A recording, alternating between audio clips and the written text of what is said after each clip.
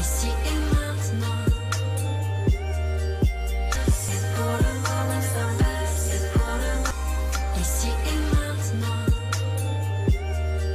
Pour le. Jusqu'au jour où ça casse. Vous écoutez Radio ici et maintenant sur 95.2 FM et dans le monde entier par internet ici et maintenant.com. L'humeur du temps présentée par David Abbassi, écrivain et historien tous les lundis et chaque dernier samedi du mois dès 23h. Vous avez la parole pour vous exprimer et poser vos questions en composant le 08 92 23 95 20. 08 92 23 95 20.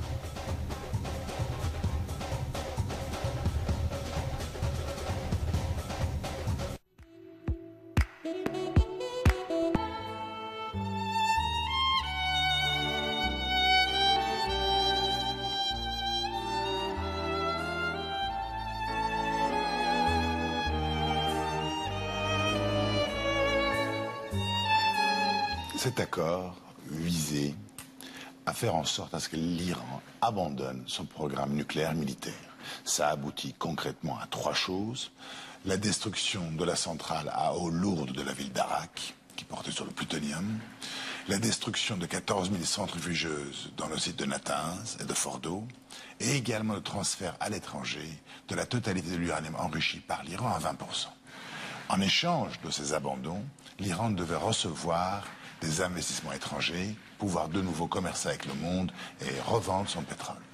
La réalité est que du fait du maintien des sanctions américaines non liées au nucléaire, qui frappaient l'Iran pour des considérations de droits de l'homme ou de non-respect allégué des, des, ou, du soutien au mouvement terroriste, l'Iran n'a pas pu profiter, si vous voulez, de ces avantages économiques. L'Iran n'a pas réussi à récupérer les dividendes escomptés. La réalité est donc que l'économie iranienne est dans une situation particulièrement triste. Je vous rappelle qu'au lendemain de la signature de l'accord, McKinsey avait sorti un rapport qui disait que l'Iran va recevoir 1000 milliards de dollars d'investissement sur les 20 prochaines années. Deux ans et demi après, l'Iran aurait dû recevoir, d'après ses calculs, 150 milliards. Eh bien, ce pays n'en a même pas reçu 10. Cela est important parce qu'à un moment où l'Amérique est toujours au sein de l'accord, les Iraniens constatent que l'accord n'a pas livré les promesses tenues. Donc vous voyez bien que la motivation du côté iranien pour garder cet accord alors, euh, n'est pas Emmanuel immense. Macron était euh, aux côtés de Donald Trump euh, tout récemment. Bon, il a parlé lui d'une avancée puisque Donald Trump, hein, il s'oppose à cet accord dont on vient de parler. Euh, le président français parle d'une avancée. De quelle avancée il parle concrètement puisqu'on on évoque euh, un nouvel accord? L'avancée ne pourrait être qu'une décision de maintien de la levée de sanctions le 12, au lieu que l'Amérique se retire, quelques mois de plus, afin que la France puisse négocier avec l'Iran ce nouvel accord. D'ailleurs, le- la notion est très ambiguë. On ne sait pas si on parle d'un nouvel accord ou d'autres accords annexes et accessoires qui vont être transposés sur l'accord existant. Et quels sont les piliers sur lesquels ce nouvel accord doit être fondé? Demander à l'Iran de se retirer de l'ensemble des pays où l'Iran exerce une zone d'influence, notamment, si vous voulez, la Syrie, où on vient d'apprendre, la France elle-même augmente son engagement. Alors on demande aux Iraniens de se retirer. Alors qu'ils ont massivement insisté pour soutenir le pouvoir d'Assad, ils ont déployé des milliers d'hommes et investi des milliards d'euros, alliés historiques. Ils demandent aux Iraniens d'abandonner leurs missiles balistiques, qui est la seule défense dont ce pays peut jouir face aux agressions éventuelles qui pourraient venir de l'Arabie saoudite, par exemple, qui ne cesse de menacer ce pays de manière quotidienne en comparant son guide à Hitler. Et ensuite, interdire à l'Iran quasiment pour l'éternité le droit d'enrichir de l'uranium sur son sol. Il n'y a aucune chance que ces demandes-là ne soient respectées par les Iraniens, ce d'autant que les Iraniens considèrent qu'ils sont les bons élèves de l'accord nucléaire. Puisque dans 11 rapports successifs, M. Amano, patron de l'AIEA, l'Agence pour la, la question nucléaire, a confirmé que l'Iran avait respecté la totalité des engagements. On est, la fin n'est pas très aisée. Vous, vous considérez que Emmanuel Macron a réussi son pari euh, aux États-Unis ou non? Non, je pense que c'est un échec. Pourquoi? Pour deux raisons. Déjà, la France, on le voit, essayer de se positionner comme étant un honest broker, un intermédiaire honnête entre l'Iran et les États-Unis. On ne peut pas assumer ce rôle lorsque trois semaines avant cette déclaration-là, on va bombarder l'allié de l'Iran et on sait à quel point la Syrie est importante pour les Iraniens, qui considèrent que s'ils ne combattent pas Daesh en Syrie, ils devront le combattre dans leur propre rue. Et puis un appel au changement, à renégociation de l'accord au départ de Washington, qui marque la dimension atlantiste du président français.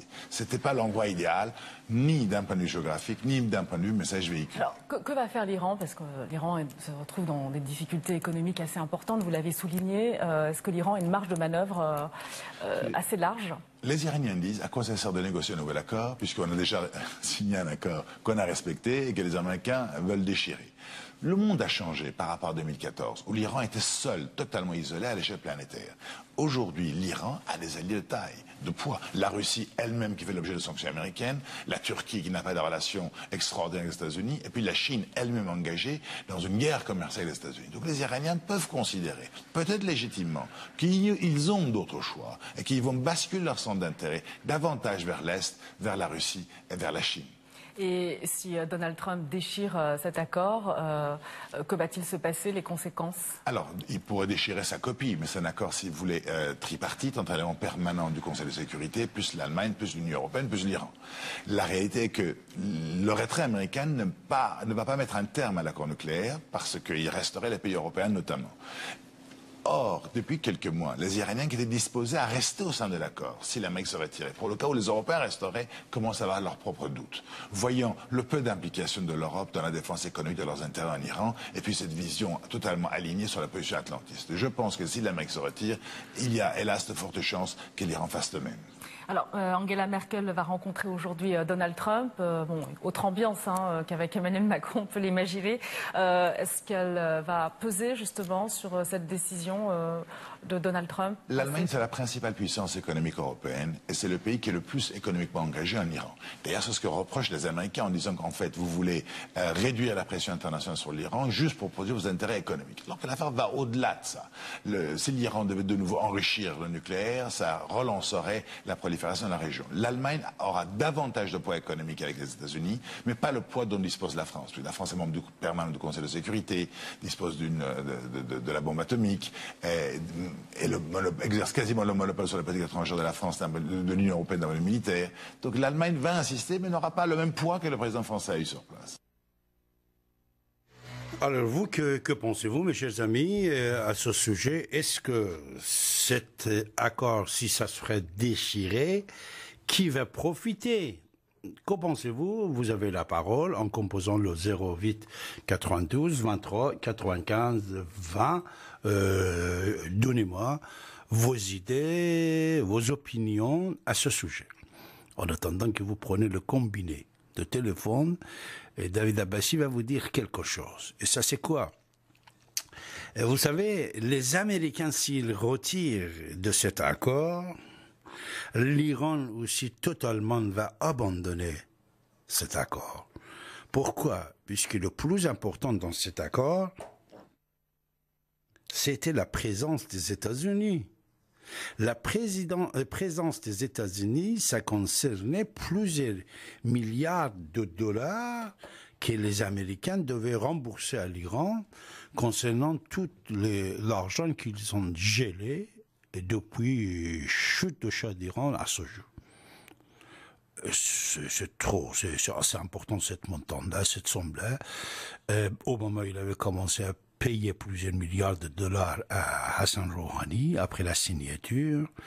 Le reste, euh, c'est Trump qui devait euh, le payer, le rembourser. Euh, par exemple, la France, l'Israël, beaucoup d'autres pays, ils avaient des endettements vers l'Iran, depuis Shah d'Iran ou après. Euh, de temps en temps, ils ont payé, ils n'ont pas payé, mais la somme le plus importante, c'était celle des États-Unis, qui pouvait bouleverser euh, la crise iranienne, la crise de l'économie iranienne. Euh, mais malheureusement, comme ce monsieur-là, euh, il vient de dire, les ayatollahs iraniens, tout l'argent qu'ils obtiennent, au lieu de dispatcher en Iran pour son peuple, ils payent des armements et ils payent les mouvements guerriers dans le monde entier. C'est-à-dire, l'Iran, comme vous savez, il gère plusieurs guerres dans le monde. Quelques-unes, vous le connaissez, celle de Yémen, Arabie Saoudite, Iran, ils font la guerre là-bas. L'Irak, euh, Daesh, c'était un phénomène qui n'est pas encore fini. Mais avant Daesh, il ne faut pas oublier cette histoire d'Irak et intervention euh, cachette en, en Afghanistan et l'intervention officielle en Syrie. Euh, ce sont les pays que nous le connaissons. Mais il y a l'intervention iranienne dans plusieurs pays africains qu'on n'écoute pas, n'entend pas. L'aide financière concernant plusieurs mouvements islamistes dans le monde, c'est-à-dire l'Iran, la République islamique d'Iran, n'a pas utilisé l'argent qui a gagné de pétrole et de remboursement de Obama pour améliorer l'économie de son peuple. Qu'est-ce qu'il a fait? Il a dépensé où il fallait pas. Après euh, cet accord, là-dedans, il y avait certains articles euh, comme quoi il devait arrêter euh, le souhait de destruction de, certains pays, que vous le connaissez. Mais ça non plus n'a pas arrêté tous les jours, tous les vendredis. Il y a Abba Abba tel pays, Abba Abba tel pays. Et de l'autre côté, financement de certains mouvements euh, proches d'Israël. Ils sont proches, les frontières, les frontières sont très proches d'Israël, comme celle du Hezbollah libanais qui vient de gagner les élections de Saad Hariri. Aujourd'hui, lui-même, il a annoncé comme quoi il a perdu un tiers des sièges, c'est-à-dire Hezbollah libanais, Hassan Nasrallah. Je crois qu'il va avoir la majorité dans le Parlement euh, du Liban, d'un côté, de l'autre côté, l'Irak à la main des, ayatollahs, la Syrie à la main des ayatollahs, Yémen, ils sont en train de faire la guerre. Alors, c'est ça que l'argent que Obama il avait promis de rembourser à l'Iran après cette signature euh, va plus être remboursé, on va arrêter, et c'est pour ça que l'Iran, même il va avoir des problèmes pour vendre euh, son pétrole, puisque vous savez, tout, tout, tout fait avec le dollar, et surtout les Américains, une fois qu'ils le décident, il peut donner des amendes concernant certaines banques et sociétés qui travaillent avec les pays qui sont interdits euh, par les États-Unis, qui sont sous l'embargo.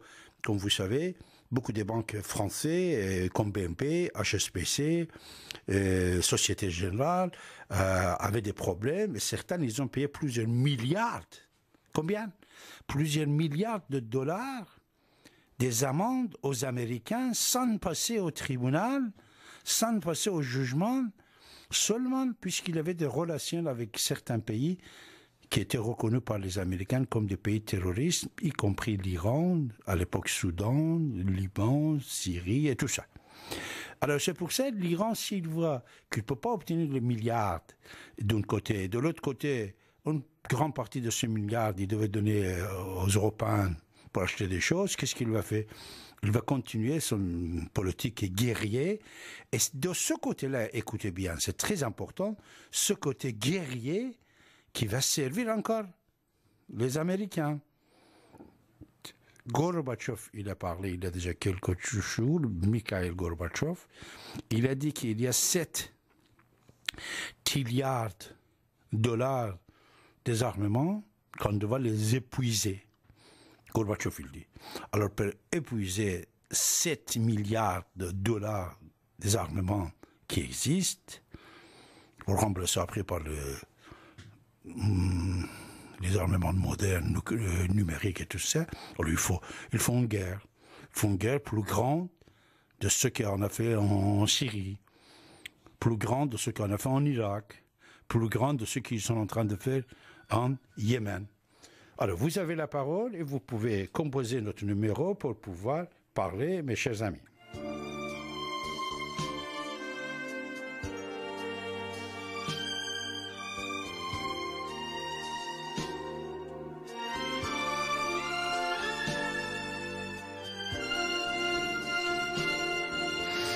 Voilà, on va recevoir vos appels sur 95.2 FM Radio ici maintenant, en composant le numéro 08 92 23 95 20. Et n'oubliez pas que vous avez également la possibilité de nous regarder comme vous regardez à la télé, en tapant sur votre ordinateur ou sur votre smartphone, ici maintenant, point com. Et je veux recevoir M. Bachir. Monsieur Bachir, bonsoir. Oui, bonsoir, monsieur euh, David. Bonsoir tout le monde. Bonsoir. Alors, j'interviens, bon, ce serait, euh, bon, j'ai pas trop de, de- de connaissances dans le domaine, mais juste par rapport à une réflexion euh, qui avait été faite par les gouvernements Israël. Bon, Euh, on dit que bon euh, que l'Iran menacerait de, de balancer la bombe à- une bombe nu- nucléaire sur sur Israël d'un côté et donc bon et de l'autre côté il y a euh, le président euh, euh, israélien qui qui dit que donc que l'Iran possède cette bombe nucléaire. Alors on voit bien que qu'il est inutile d'avoir peur de, de l'Iran parce que s'ils ont la bombe nucléaire, eh ben ils l'auraient balancée sur Israël et ils l'ont pas fait. Donc il n'y a pas à avoir peur de, l'Iran. Donc euh, tout va bien. Chacun a sa bombe atomique, mais personne ne va la balancer sur, euh, sur d'autres pays. Parce que sinon c'est le chaos total. Le problème c'est que on veut pas que les autres euh, aient leurs bombes. Pour pouvoir dominer le monde, il faut qu'il y en ait qu'un. euh, euh, il faut pas que, tout le monde ait le- la bombe atomique parce que sinon on peut pas les menacer euh, économiquement. Il, est là le problème, c'est euh, par rapport au, au, c'est toujours le problème du, pouvoir, le pouvoir de- économique, le pouvoir par la possession des armes, le pouvoir, tout est là quoi. Donc bon, Iran a, a sa bombe atomique, et ben qui prouve bien que euh, euh, il est pas, euh, euh, ils sont pas assez fous pour balancer le- une bombe, quel que soit le pays. Voilà ce que c'était une réflexion. hein. C'est-à-dire, tu penses que l'Iran aussi il a le bombe atomique et il va jamais le lancer. Ben, oui, voilà. Alors, euh, il y a une. Alors pourquoi ces menaces-là Pourquoi il menace euh, Israël et tout ça? Pourquoi il encourage Israël se sent menacé d'un côté. Euh, ils disent que Iran a une bombe atomique, mais ils n'ont toujours pas reçu cette bombe sur, euh, atomique sur la gueule. Donc, euh, l'affaire est classée. euh, Israël n'a plus, n'a plus à avoir peur de, de l'Iran. Qu'ils doivent se dire, hein, les Hmm. Israéliens. Est-ce que tu as entendu les propos de Benjamin Netanyahu la semaine dernière, comme un- quoi C'est un menteur. Voilà. Non, tu n'as pas entendu ces propos comme quoi ils ont allé chercher des documents à, à Téhéran. Ils, ils ont réussi à voler détourner, enfin, euh, de, de- de- plusieurs milliers de documents concernant le nucléaire iranien à Téhéran et ils l'ont ramené à Tel Aviv. Ça, ça montre que Israël il est tellement fort que, comme tu viens de dire, euh, l'Iran, même s'il a la bombe atomique, il n'a pas le cul de lancer comme Jacques Chirac il a dit. Il n'y a pas besoin d'avoir peur de quoi que ce soit, euh, qu'il l'ait ou pas, ça changera rien euh, dans le monde. Parce qu'ils ne s'amuseraient pas à balancer une bombe, même si un certain euh, énergumène, euh, pendant une période euh, au pouvoir, avait prononcé peut-être des, mots, mais il n'est plus là, il est plus au pouvoir, c'est un autre. Donc c'est euh, Ahmadinejad qui soi-disant aurait, bon, dans une interprétation peut-être, je sais pas si elle est bienveillante, mais trompeuse, de dire que qu'il allait euh, balancer euh, une bombe sur Israël. Mais euh, en fin de compte, de toute façon, si Israël prétend qu'ils ont leur bombe, qu'est-ce qu'ils attendent pour enfin bon, pourquoi ils la reçoivent, la reçoivent-ils pas? Donc il y a dans il toute une logique, une concertation, soit d'un côté ils mentent, soit ou de l'autre côté, il n'y a pas besoin d'avoir peur. Voilà. C'est-à-dire, tu ne penses pas que l'Iran va être un danger pour l'Israël et ni Hezbollah qu'il est euh, tellement armé, il est euh, maintenant voisin avec euh, l'Israël? Hezbollah libanais. le, danger, il, le danger, il est, il est le, le sentiment de danger, c'est le sentiment américain Mmh. Du, du pouvoir, sentiment de la perte du pouvoir. Mais, avec... bah, la bombe atomique, ouais. euh, l'Amérique n'est plus le maître du monde. Alors, le bombe, c'était rien du tout, mais comme tu as entendu tout à l'heure aussi, tu sais qu'avec cet accord euh, nucléaire avec l'Iran, euh, l'Iran, son nucléaire était à la main des États-Unis aussi, c'est-à-dire, ah, c'était fini. Mais je crois qu'il y a une volonté euh, qu'on ne veut pas que l'Iran s'approche aux États-Unis, toi. Politiquement. Parce que Rouhani, c'est l'homme des Américains en Iran. Celui qui est le président de la République, toi. Mais on fait tout pour le casser, puisqu'il peut-être ne veulent pas que l'Iran s'approche aux États-Unis. Tu sais, il y avait plusieurs euh, premiers ministres iraniens depuis euh, 70 ans jusqu'à maintenant qui a été assassiné, tué. Pourquoi? Puisqu'il voulait s'approcher aux États-Unis. Seulement le Shah d'Iran, il a réussi pendant certains temps, même après lui-même, on l'a chuté, puisque l'Iran, on dit, c'est colonie de Grande-Bretagne et la Russie. Et les autres n'ont pas le droit d'y entrer. Ça, ce sont des choses cachées qu'on ne sait pas, on n'en parle pas ici. Alors, si quelqu'un a des informations, il est le bienvenu sur notre antenne. N'est-ce pas, Bachir? Oui, c'est possible, oui. Bah, je, vous laisse parce que je suis un peu perdu dans, dans toutes ces histoires-là. C'était simplement une question de, de raisonnement logique Hmm. par rapport à un domaine. Moi, je suis très, très euh, obtus dans une réflexion. Après, euh, pour élargir les choses, euh, je me perds. Merci, Voilà. Bachir. Je vous laisse. Merci. Voilà, ça c'était Bachir sur 95 de FM, qui était tellement sincère en disant qu'il est perdu. C'est vrai qu'on est perdu dans le politique national, international. Hein? On est perdu. Mais vous, si vous êtes perdu ou pas perdu, vous avez la parole. Venez nous éclairer. Si vous avez des choses qu'on ne sait pas, on est là pour vous écouter. 08 92 23 95 20 l'Iran qui ne peut rien faire contre le monde civilisé, avec tout des blablabla qu'il fait, tout le monde dit, dit que c'est une force mondiale, patati patata, tous les jours, en train de le frapper dans le pays, et vous ne, savez pas, parce qu'ici on ne dit rien, mais toujours il y a euh, des opérations militaires contre les entrées d'Iran et contre Pastaran et contre les sites iraniens, sites militaires, en Syrie, en Iran même. Ici, on ne parle pas. Et aucune réaction de la part des ayatollahs iraniens, puisqu'ils sont rien du tout. Mais on a fait des slogans de propagande dans le monde comme quoi c'est une puissance, oh là là, l'Iran, euh, pop. Non, c'est pas ça. Alors vous, que pensez-vous? Si vous savez des choses cachées, les sujets tabous, qu'on ne parle pas dans les médias, si vous le connaissez, les manifestations de, faites à Macron, ça c'était pour ou contre Macron? C'était une manifestation contre ou pour Macron?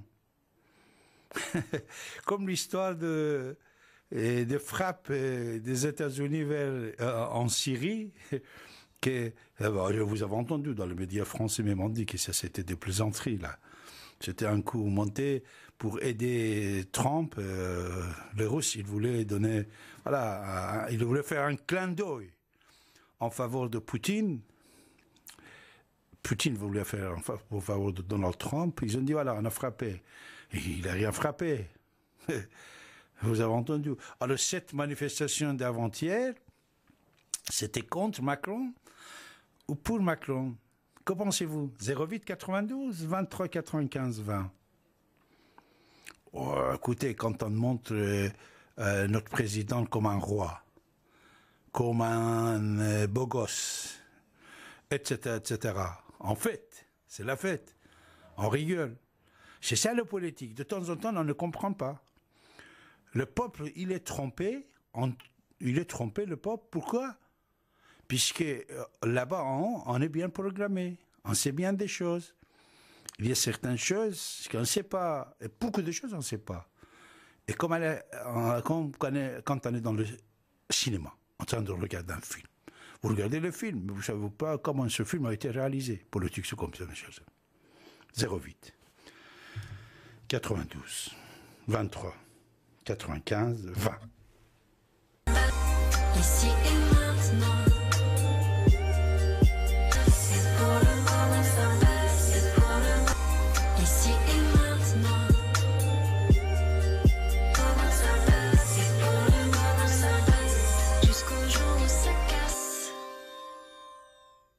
Vous écoutez Radio ici et maintenant sur 95.2 FM et dans le monde entier par internet ici et maintenant.com.